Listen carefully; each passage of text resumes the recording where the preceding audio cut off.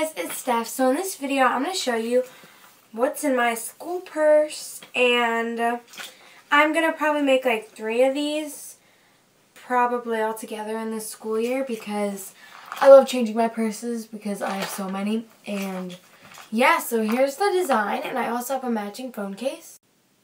So yeah, let's get started. So I have OCD, so I saw this and I'm like, oh my gosh, the flowers are perfect on it. As you can see, that one's my favorite.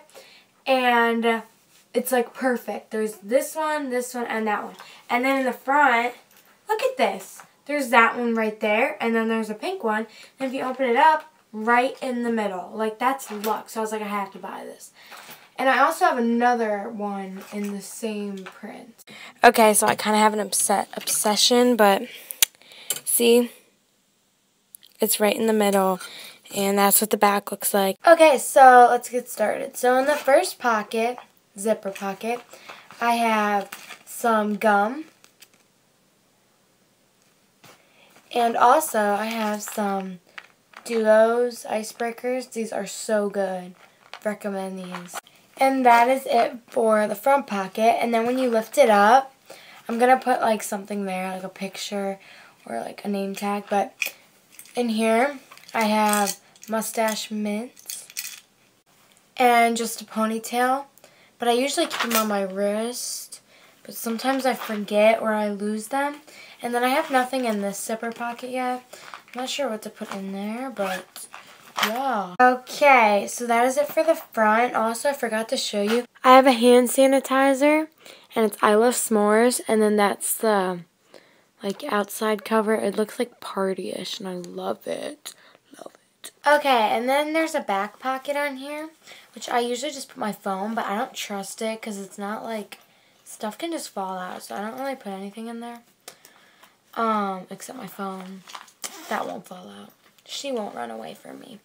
And then the inside, I have a perfume because I have gym right in the morning, and this is pink chiffon, chiffon, chiffon cute bottle, and it's a mini one. So I have that in there. And then I have this Vera Bradley notebook pad thingy. Vera Bradley. And it's this design. It's not my favorite, but um, and then when you open it up, and it has like all these like sticky notes. So I'm going to use this for school, so I can just write down some stuff. And then I have a um, just a wallet with some money and change. Okay, so thank you guys for watching this video. And also, I got a lot of um, questions asking what grade I was going into on my back to school haul. I'm going into 7th grade. So, yeah, I start back on Wednesday. And today is like Friday, I think. Yep, Friday. So, yeah. Hope you guys enjoyed the video. Goodbye.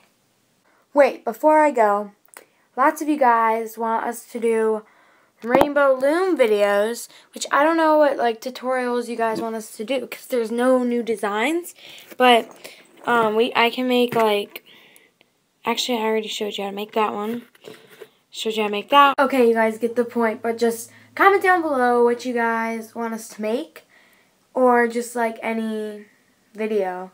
So comment down below, like the video, and subscribe.